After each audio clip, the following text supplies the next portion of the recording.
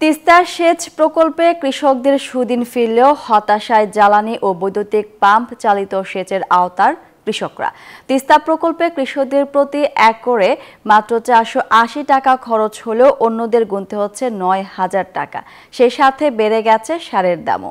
কৃষি বিভাগ বলছে, এবার পানির কোনো সংকট নেই, অর্জিত হবে উৎপাদন লক্ষ্যমাত্রাও। আব্দুর রশিদ শাহিদ পাঠানো তথ্যচিত্রে ডেস্ক রিপোর্ট।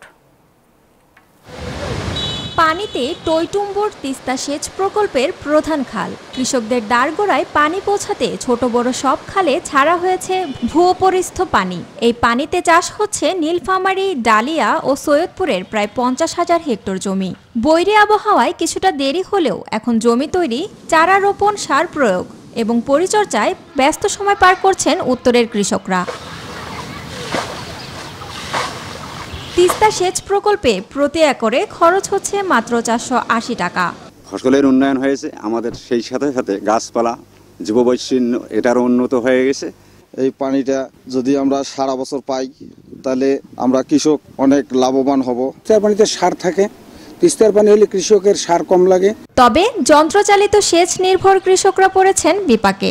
কেননা প্রতি একর জমিতে সেচের জন্য তাদের গুনতে হচ্ছে অন্তত নয় হাজার টাকা।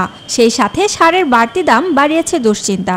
মোটরের পানি মনে করেন সময়তে নাইন থাকে না এই যে দুই দিন নাইন নাই জমি ফাটি গেল আবার শেষটা বেশি না গেল পরে মাটিতে ফাটি যায় পানি বেশি লাগে। মানে একশো বিশ দিন যদি পানি দেয় এইভাবে তেলের দাম হলে আমরা কেমন করি? আবাদ করি আর কেমন করি খাই আর কেমন করি চলি। কৃষি বিভাগ বলছে এবার পর্যাপ্ত পানি পাওয়া গেছে। তিস্তার সেচ নির্ভর কৃষকদের মুখেও ফুটেছে হাসি।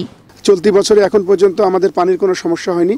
আমাদের ইরিগেশন কার্যক্রম ভালোভাবেই চলছে এবং এই ইরিগেশন কার্যক্রম চলমান থাকার ফলে সরকারের ডিজেল সাশ্রয় হচ্ছে।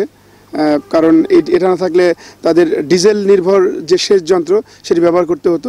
আবহাওয়া অনুকূলে থাকলে চলতি মৌসুমে অতিরিক্ত তিন থেকে চার হাজার মেট্রিক টন ধান উৎপাদন আশা করছে কৃষি বিভাগ, যার বাজার মূল্য প্রায় আট হাজার কোটি টাকা।